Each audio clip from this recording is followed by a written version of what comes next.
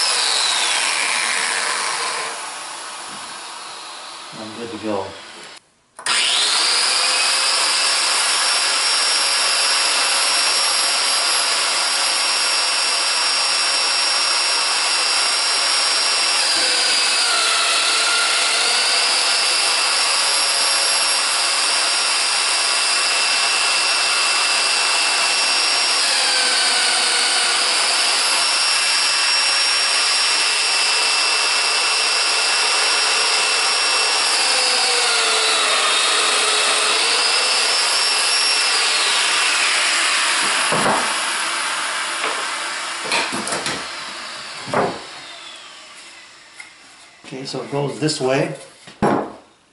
Get a couple dominoes and see how we did here.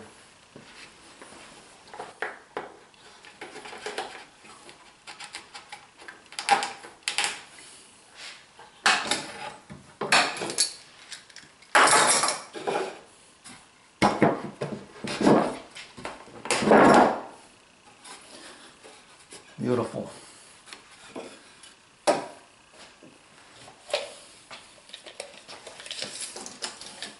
Twelve inches on center. Oh, you're not seeing that. Back down here. So I'm twelve inches on center, right where I wanted it to be. My center line is lined up. That's good. Uh, Nothing glued up yet, but that's gonna be nice. That's a, it's a nice height. I did, uh, I should actually measure it.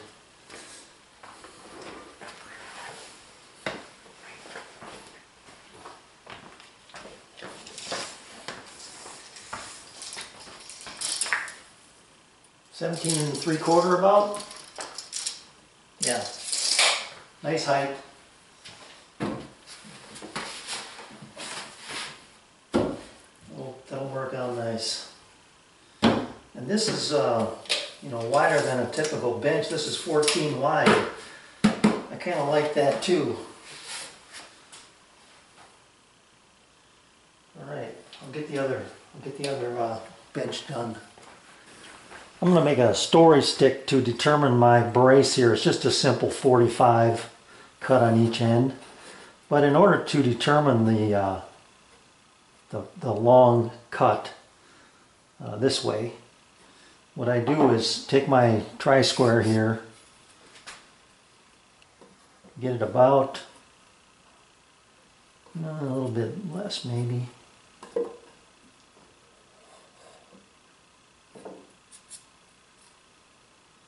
Right in there. Then bring it up to the line.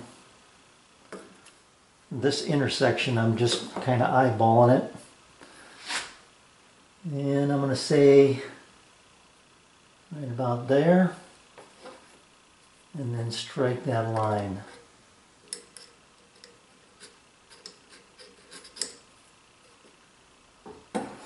Now that's my that's my top line. So I'm going to drop it down this way.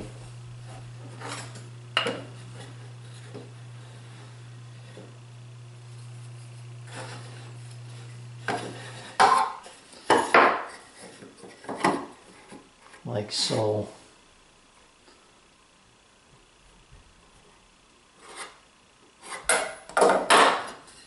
And that should give me my cut line right there.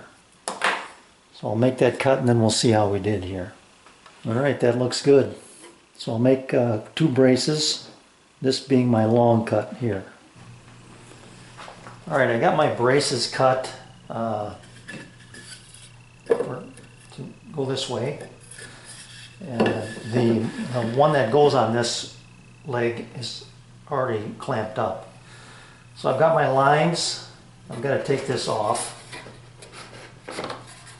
And what I'm going to do is match up my center line with this line and my perpendicular line with this face.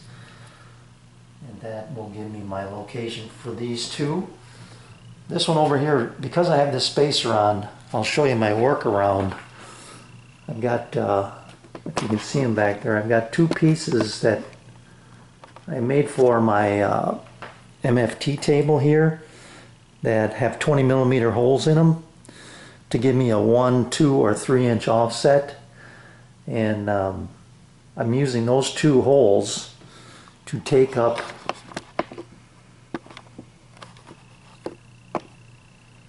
this right here with these um, uh, thumb screws that uh, hold this spacer in place.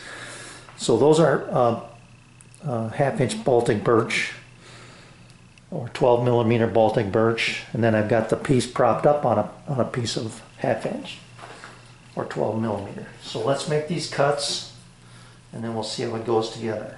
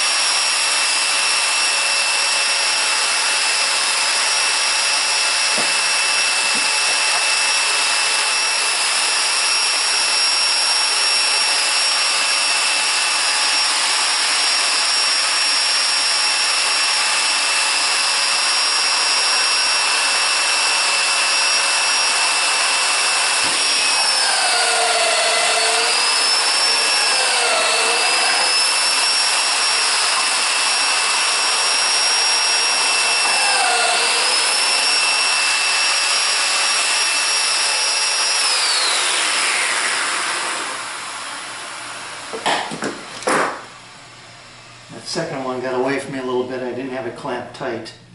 I should be okay though. Yeah, I do too. I've got this reversed.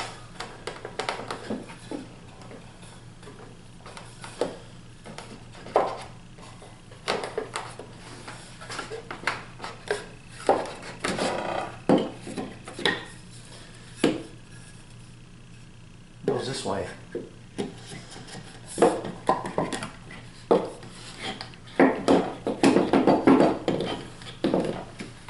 I have to make marks on this to make sure I put it together the correct way. Yeah, that made all the difference in the world. That fits perfectly. okay. Okay, good. I like that. And that'll be nice and, nice and sturdy. So the lesson also learned there is that this is gonna have to be fastened here first and then drop uh, this as one piece onto the bench. So I'll make marks uh, denoting which piece goes with which leg. But I'll do the other three in the same fashion. Then I can uh, take it apart and round over all the edges. All right, I know this isn't the greatest thing to be doing, but that's the top. It's put together laying on its side. Uh, just got done with I don't know, three, four hours of sanding, not on the top, but the whole project. But uh, it went together nicely after I had uh, sanded it. So you can see the connections here. Uh, this piece connected to the top, and then the the X legs connected to the brace. Uh, worked out really nice. So the, these are slotted. You can see one of the slots kind of peeking through right there. The top and bottom are slotted. This is a, a single hole right in the middle of the top. So it'll be able to move uh, with, with the seasons. And then I got the uh, cross brace here held by two quarter inch bolts yeah, on each end, so it gives it that uh, trestle table look. And that turned out really nice as well. So it does come apart, which is the good news for easy transportation and hauling it up to her. I can't remember if it's a second or third floor deck, but at any rate, it's good to go. Let me show you the benches here. Uh, 14 inches wide, 6 feet long. Uh, you can see the uh, legs underneath there and let me stand one of these up. Show you the bracing. So you can see there I've got uh, I do it's dominoed but I used a screw through the brace uh, like a clamp.